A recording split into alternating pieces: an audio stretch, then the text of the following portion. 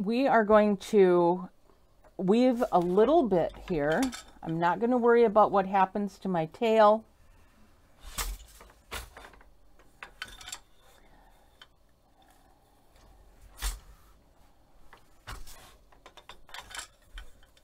And I'm really close to the beater, so I'm going to wind forward. Let off some pressure on the brake.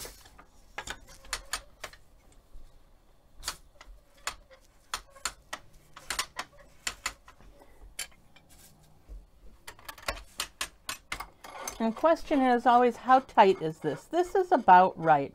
You can see how it flexes when I put my full hand on it. You want it to go down a little bit. Now, I told you not to beat. Now I want you to beat. And you'll see why in just a minute.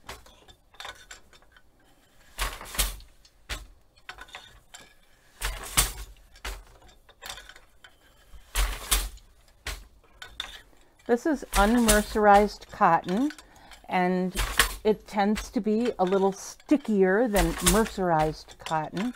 So if we have about an inch and a half woven here, it'll hold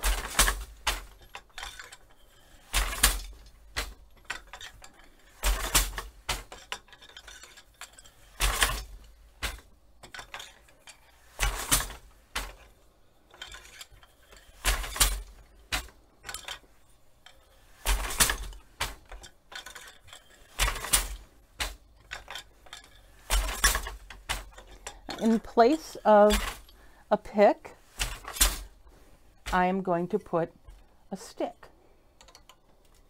This is our apron rod. And we're going to change our feet so we can lock that in.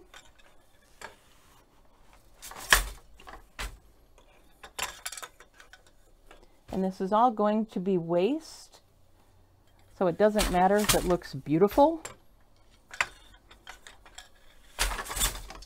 This is solely for function.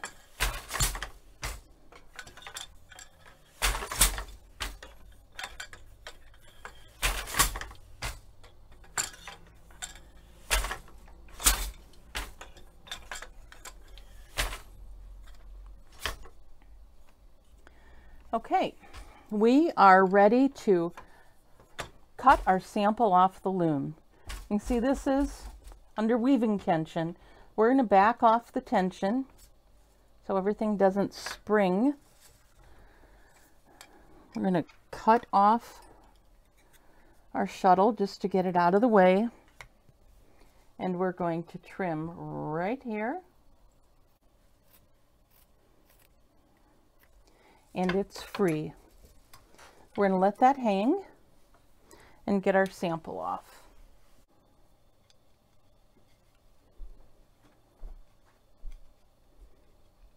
Now remember when you attach this that you need to go around the front beam. You can't come and attach it like that. That won't work.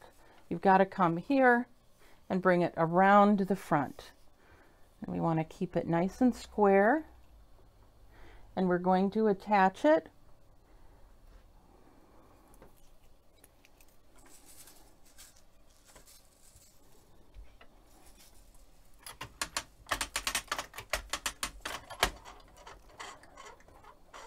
with zip ties.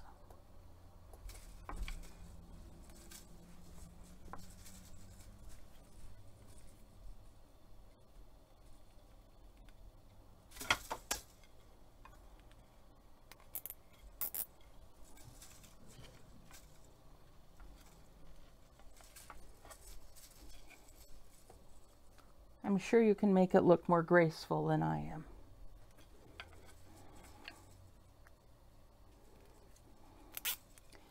So we want these tails to be about the same length so that we have even tension. And then we put one more tie in the middle.